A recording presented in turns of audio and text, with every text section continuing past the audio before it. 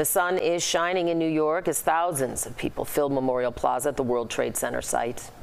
And once again, family members read the names of those killed in the September 11th attacks.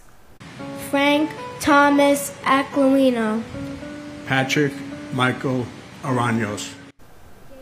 Nearly 3,000 people were killed in the 2001 attacks on the World Trade Center, the Pentagon, and aboard Flight 93, which crashed in Pennsylvania. This year, more children born after the attacks are reading the names of the victims as new generations take over that responsibility of remembering the day that changed our nation.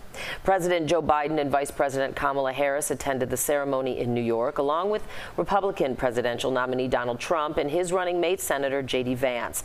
President Biden released a statement earlier this morning saying, in part, never forget that when faced with evil and an enemy that sought to tear us apart, we endured.